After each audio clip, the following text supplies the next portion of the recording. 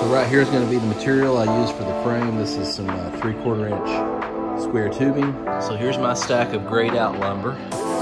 Here's what I'm going to leave brown.